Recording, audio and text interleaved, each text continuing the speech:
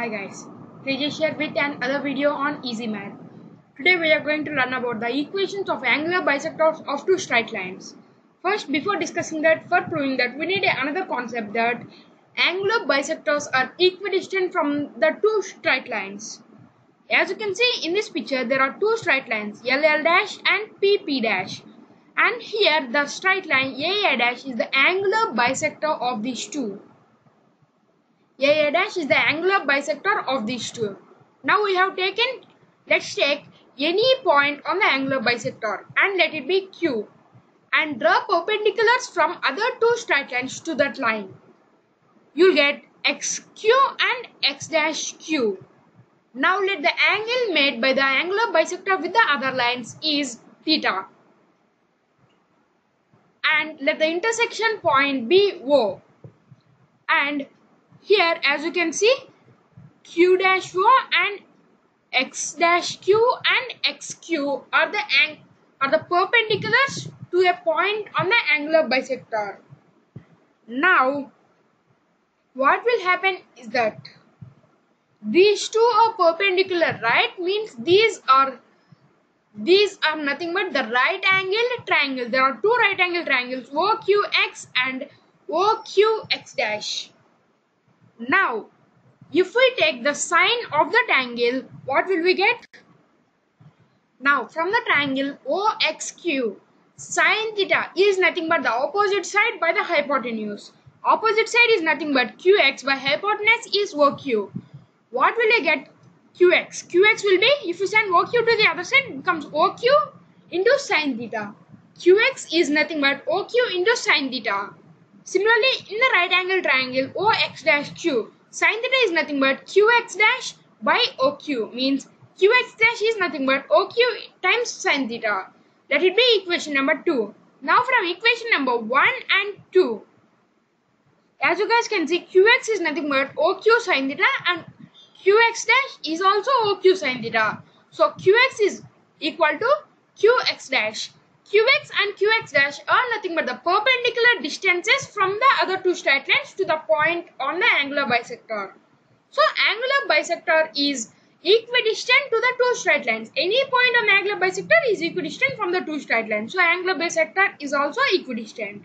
Now let's go to our main theorem. Equation of the bisectors. Theorem. The equation of the angular bisectors of the straight lines a1x plus b1y plus c1 is equal to 0. Let it be equation number 1. And a2x plus b2y plus c2 is equal to 0. Let it be equation number 2. The angular bisectors of these two straight lines are given by a1x plus b1y plus c1 by square root of a1 square plus b1 square is equal to plus or minus either plus or minus a2x plus b2y plus c2 by square root of a, a1, a2 square plus b2 square. Now let's see how can we prove this. Okay guys, as you guys can see in this picture, there are two straight lines. A1x plus B1y plus C1 is equal to 0 and A2x plus B2y plus C2 is equal to 0. As you guys can see here we have two angular bisectors, right?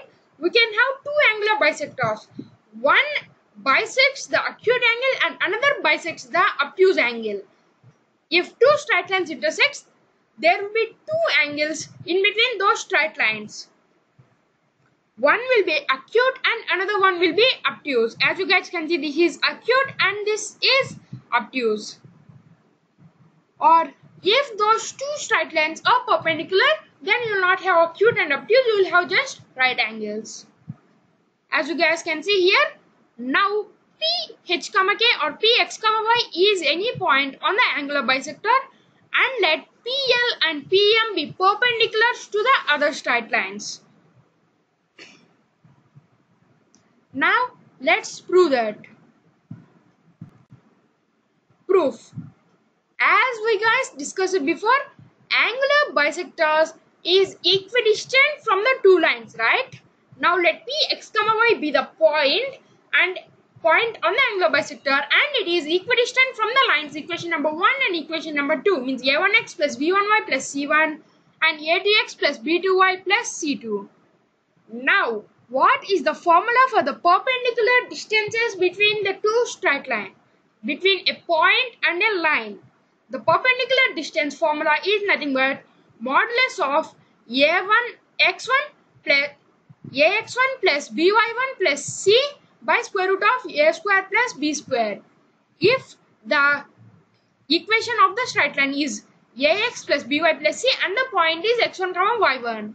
Here equation is a1x plus b1y plus c1 and the point is x comma y. So you should replace x with x and y with y. Means no need to replace anything. They will be the same.